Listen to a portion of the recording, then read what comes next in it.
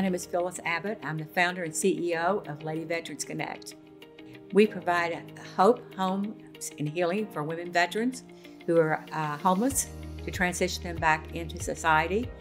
Women veterans are the fastest growing segment of the homeless population. They're also at a greater risk of committed suicide than their uh, counterparts.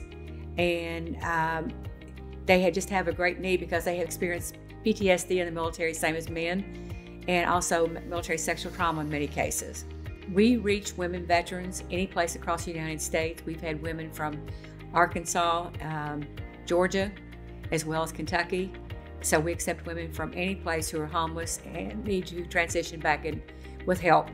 And in 2016, a friend of mine called me and said, I have bought a house to flip in Lexington, but you can have it rent free for two years. And we got it and we remodeled it and now we own it and it's a small ranch where three women veterans can live up to a year. And then Brian Howard and Alan Taylor bought the Trapp school when they closed it, and Brian wanted it to be used for veterans. And so he approached us about it, and I told Brian, I said, We don't have any money, but it's my dream. So they have worked with us faithfully until we bought the property last year.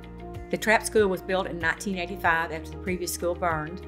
Uh, the school is 22,000 square feet and it's a ranch. It's eight miles out of the town in a really rural setting with eight acres, a beautiful place for healing and comfort.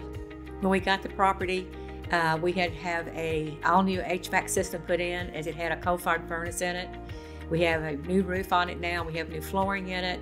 So everything has been completely gutted and redone. It has been a team effort that has made it possible for us to open. Uh, Clark Materials has been awesome. They've also brought with them SRC, Hilton uh, downtown Lexington has been very helpful as well. And then we've had other help from Home Depot, uh, Kentucky Department of Veterans Affairs, and American Legion Auxiliary.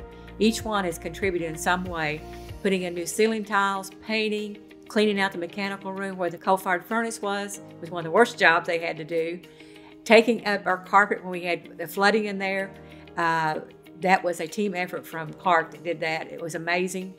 Uh, Kentucky Department of Veteran Affairs uh, donated money for uh, new windows and some of the electrical work that had to be done. American Legion Auxiliaries paid for the bathrooms, converting them, and also fire extinguishers. It's just been so much effort out there, hard work, and everybody's made a big contribution. Home Depot came in and they're redoing our columns out front, and they provided the new ceiling tiles and those items that we have needed to get open. So we've been very blessed. Without them, it wouldn't happen. When we open our doors in April, as we anticipate, we will be providing a home for up to 32 women veterans at a time where they can live in a year's program while they're going through life skill classes, getting connected with the VA for their uh, health care, and do counseling via Skype. We'll have a counseling room where they can do that. Uh, then we will be working on financial planning, Kentucky Career Center is going to come in and do a 12 week program on preparing them for jobs. Uh, then we will also be doing some nutritional classes. And one of the last things we'll be doing is helping them restore relationships because there's a lot of broken relationships and they need those to be sustainable when they leave. And then in phase two, we want to build about six to eight cottages where we can have our younger women living who have small children, where they can participate in the program and build a bond with their children again as we're opening the doors, this is not just the end of uh, what we need help with. It's getting the building open. We're going to need help ongoing to pay the utilities, to pay the mortgage payment, pay the insurance, provide food for our women, and to bring some programs in that we need to bring in uh, to help them to get sustainable. So, and we also would like to have people who provide different programs uh, in different areas that would be able to come out and do some programs with our ladies uh, to help them prepare uh, like art therapy and other programs like that. In addition to the funds that I described, we have a core group of volunteers that helps.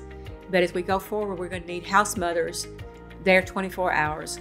And right now, we need those to be volunteers if possible. We can have one that can be a live in if we have someone that uh, maybe is struggling to be on their own. That way they can live rent free there. Then we also need people to come in and do programs with the ladies and help them prepare for being uh, productive citizens again. For more information about what we're doing and to get connected with us, you can call me at 859 806 4297 Our email is info, info at ladyveteransconnect.org or our website, www.lv-connect.org.